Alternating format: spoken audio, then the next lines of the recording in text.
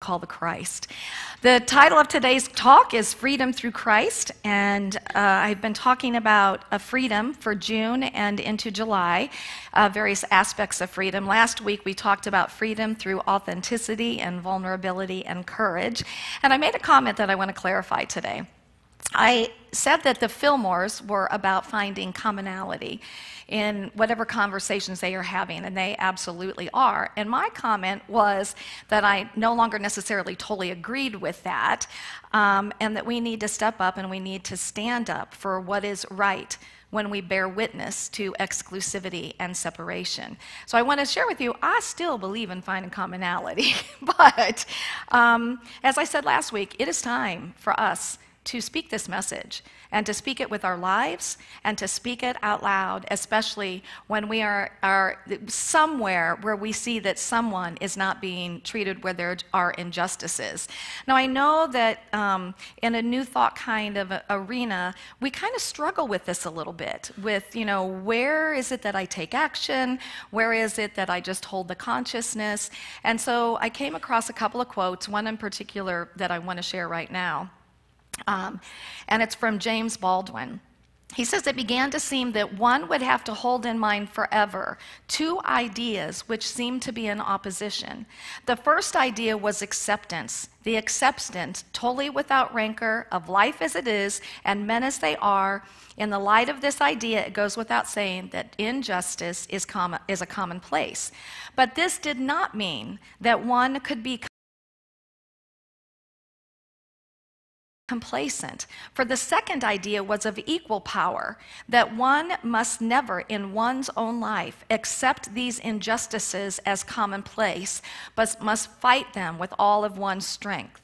This fight begins, however, in the heart, and it now had been laid to my charge to keep my own heart free of hatred and despair.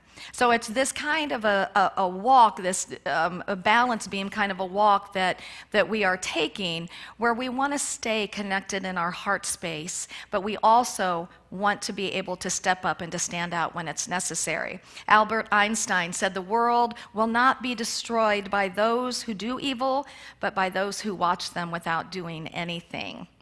John Pavlovitz great um, author, said, We are Christians who have no tolerance for prejudice that denies the inherent worth of a human being based on their identity or gender or pigmentation or orientation or land of origin or faith tradition, especially when it commandeers the name of Jesus to do it. Can I get an amen on that? Martin Luther King Jr. said, A man dies when he refuses to stand up for that which is right a man dies when he refuses to stand up for justice. A man dies when he refuses to take a stand for that which is true. And last week we talked about Brene Brown and stepping into the arena, and that we are stepping into the arena, that we are going to make our voices heard.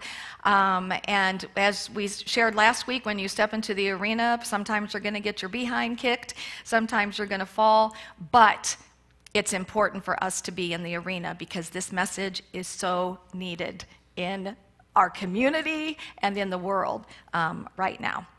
So I'm tying this in to, uh, to talking about the Christ today.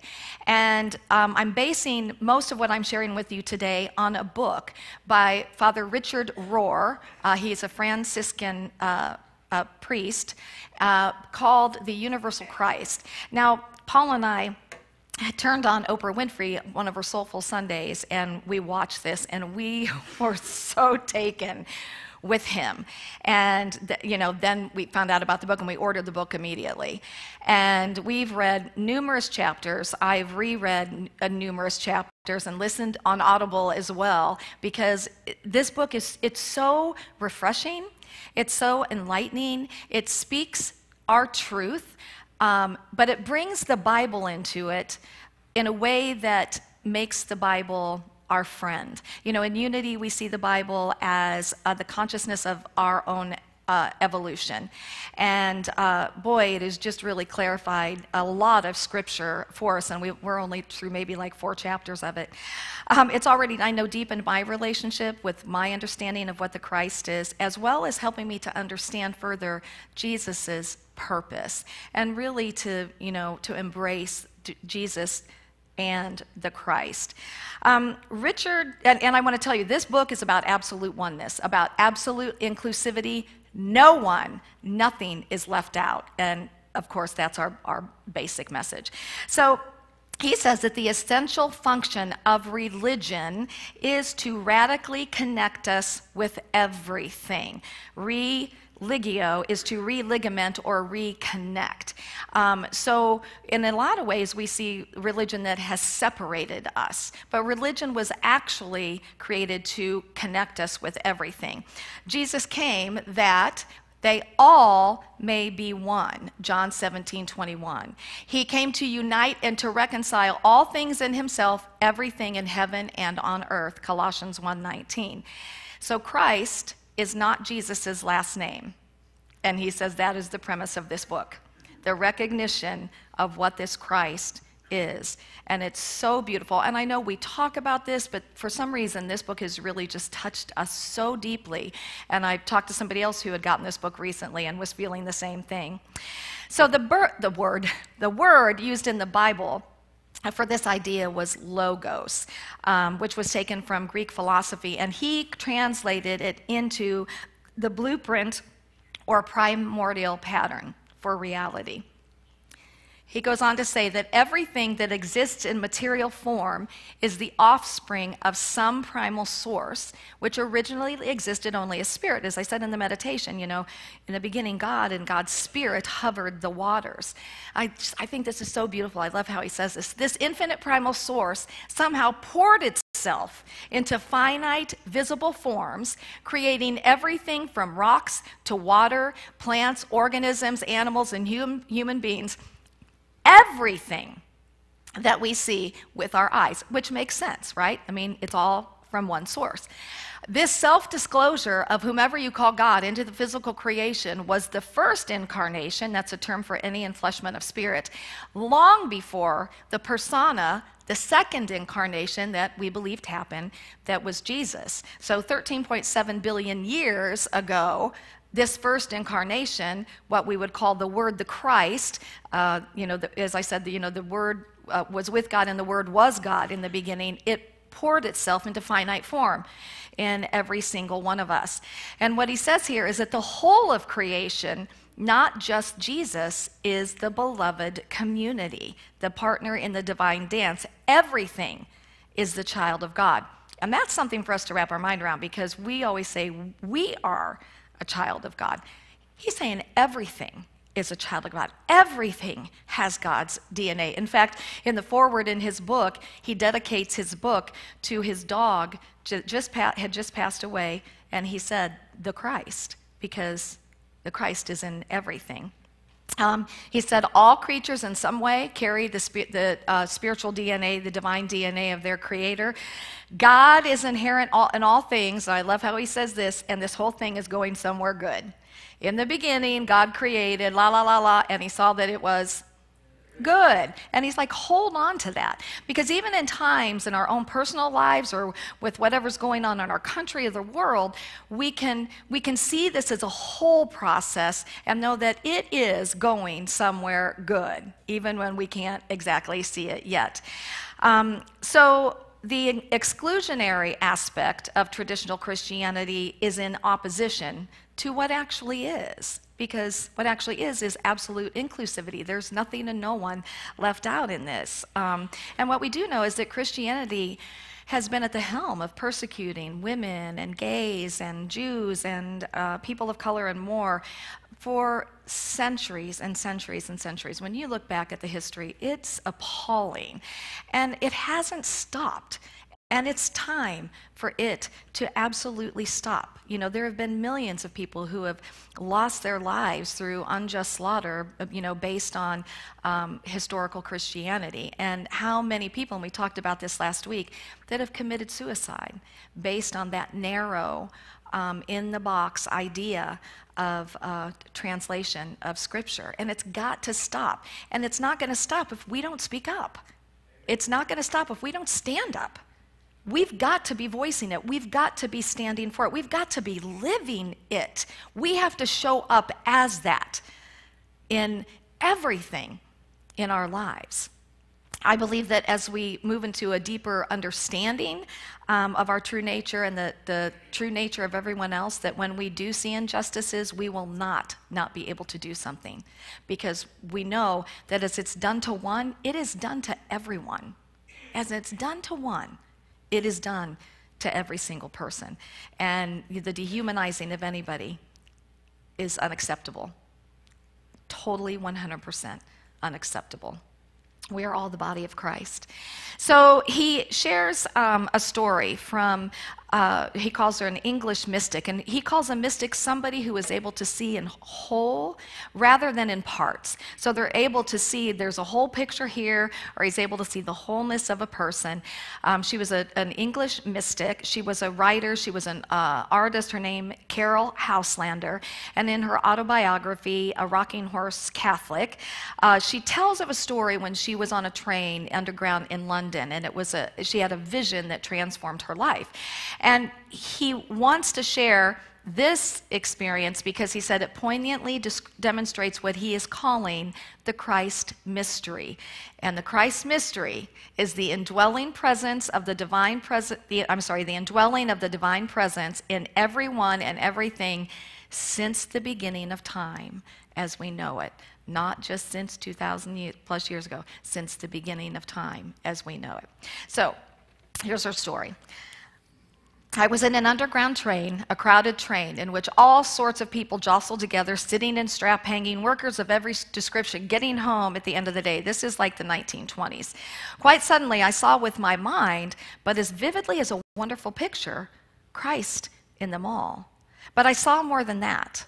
Not only was Christ in every one of them, living in them, dying in them, rejoicing in them, sorrowing in them. But because he was in them and because they were here, the whole world was here too. Here in this underground train. And not only the world as it was at that moment, not only all the people in all of the countries in the world, but all those people who had lived in the past and all those yet to come. I came out into the street and walked for a long time in the crowds. It was the same here, on every side and every passerby, everywhere, Christ. I had long been haunted by the Russian conception of the humiliated Christ, the lame Christ limping through Russia, begging his bread, the Christ who, all through the ages, might return to earth and come even to sinners to win their compassion by his need. Now, in the flash of a second, I knew that this dream was a fact, not a dream, not the fantasy or legend of a devout people, not the prerogative of the Russians, but Christ in man.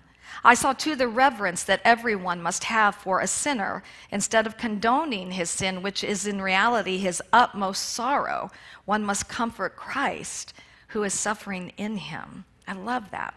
And this reverence must be paid even to those sinners whose souls seem to be dead, because it is Christ who is the life of the soul who is dead in them.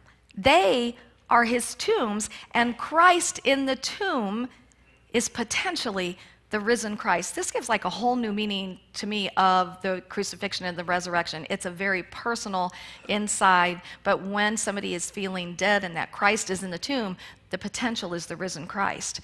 Christ is everywhere. In him, every kind of life has a meaning and has an influence on every other kind of life. Realization of our oneness in Christ is the only cure for human loneliness.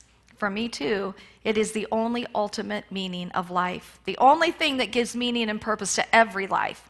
After a few days, the vision faded. People looked the same again. There was no longer the same shock of insight for me each time I was face to face with another human being. Christ was hidden again. Indeed, through the years to come, I would have to seek for him.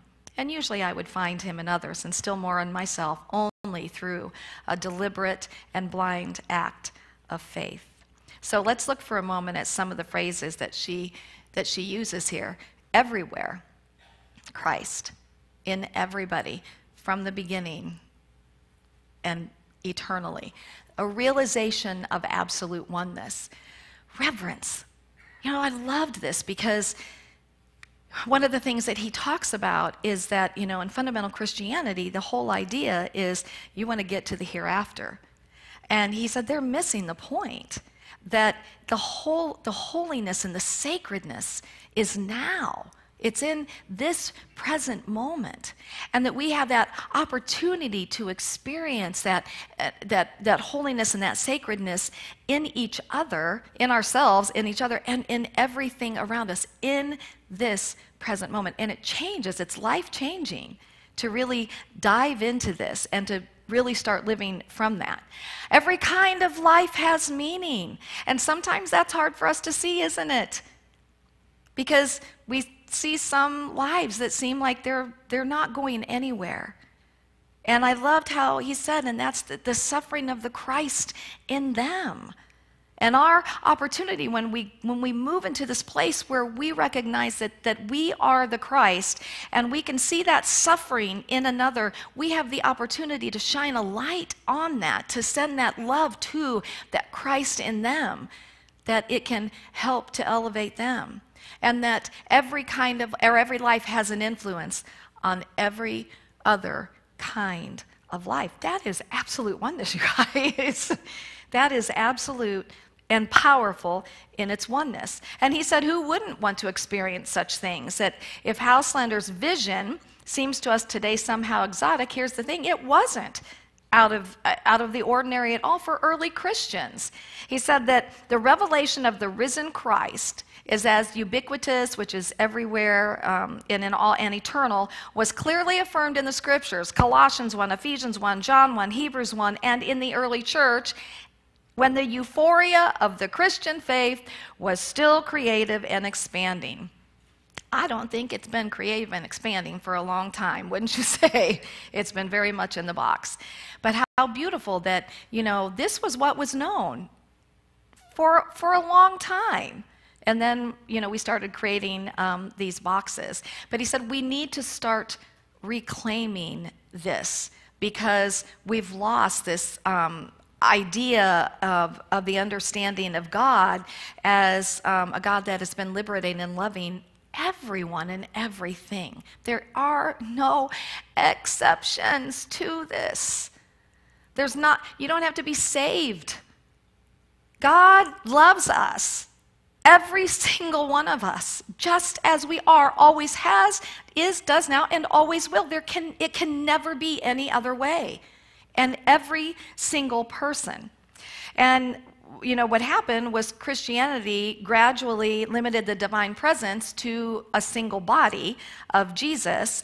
And part of the problem with that is that um, most of them um, also believe that his divinity is exclusive only to him. And, you know, I know that I've had conversations with people that, you know, when I say, you know, if I even like say the words, you know, I am, I am the Christ, it's like, blasphemer! You're going to hell, you know? It's like, no, you can't say that. There is none other than Jesus the Christ. And it's like, yeah, we're all that. We always have been, and we always will be. All of this has the, the Christ DNA. Paul said in Colossians 3:1, there is only Christ. He is in everything and he is everything. There is only Christ. Now, um, many of you may know um, the story of Paul with his conversion. He was Saul, and he had this experience where Jesus came to him and said, You know, why are you persecuting me? Because Paul was persecuting a whole group of people. And he, why are you persecuting me? And Paul was like, and he said it three times. And what Jesus was saying, why are you, when he's saying, why are you persecuting me? Why are you persecuting the people? And, it, and Paul said it was like scales came off of his eyes. And from that point on is when he began to see from the Christed view. And he began to speak from that divinity, from that um, divine view. And recognize that Jesus never said, worship me. Jesus said, follow me. He never said, worship me, did he? He didn't. He said, follow me. Um, and, he, and Richard says we can't overestimate the damage it was done to our gospel uh, message when the Eastern Greek and the Western Latin churches split. And we have not known one holy, undivided church for over a thousand years. Don't you think it's time that we come back to one you know, oneness and love and compassion and kindness and inclusivity. Uh, but he said that we can open reopen that ancient door of faith, and we can, with the key to unlock that is one word, and that is the Christ. So let me share with you some of what he says about the Christ. He said, Long before Jesus' personal incarnation, Christ was deeply embedded in all things, as all things. Christ is the light that allows people to see things in their fullness. The precise and intended effect of such a light is to see Christ everywhere else. So we see through the light of the Christ, and we see Christ everywhere else. He says a mature Christian sees Christ in everything and everyone else. This definition will never fail you, always demand more of you, and give you no reasons to fight, exclude, or reject anyone. When the Christ called himself the light of the world, John 8 12, he is not telling us to look at him, but to look out at life with his all merciful eyes. I love that so much. That we, that, that, because because he said, You are also the light. So I am the light of the world, but you are also the light. So look out through those all merciful eyes. We see him so we can see like him and with that same infinite passion. And when your isolated I turns into a collective we, you have moved from Jesus to Christ. And he said, Jesus can hold together one group of religion, but Christ can hold together everything. Big difference. Big difference. Um, so, uh, Richard asks these questions What if Christ is a name for the transcendent within and of everything in the universe? What if Christ is the name for the immense spaciousness of all true love? What if Christ refers to an infinite horizon that pulls us from within and pulls us forward too? And what if Christ is another name for everything in its fullness? And it is.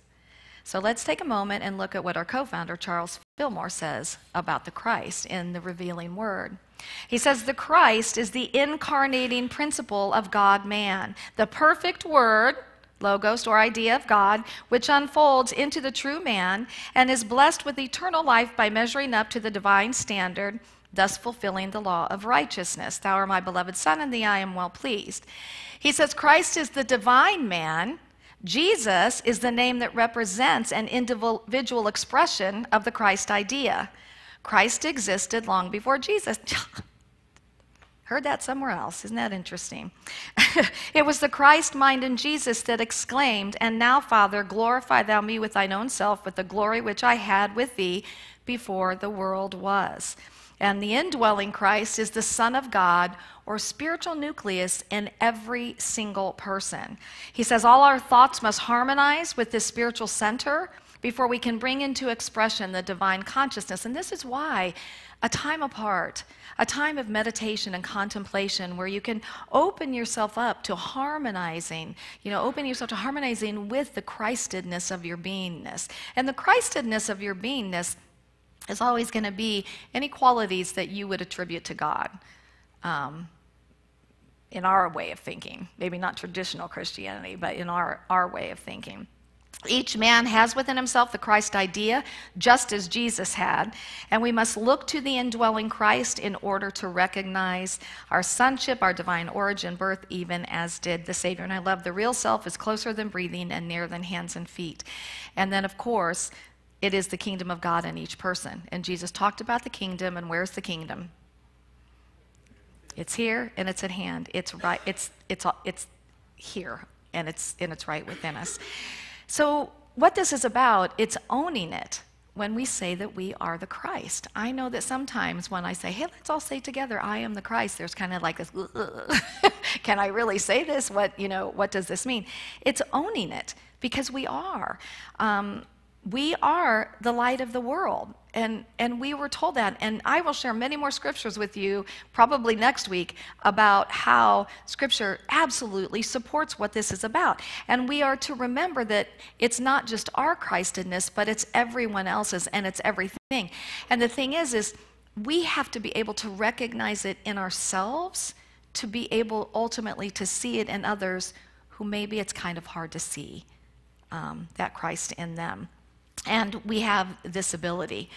Um, my friend Dwayne, Dwayne Koppler, many of you know him, sent me an email one day and he said, Today, as I went to Walmart for a few things, I was thinking about the wonderful experience I had in Naples when Panache Desai had us look into each other's eyes and say, I see you, I see God's love in you, and then I love you.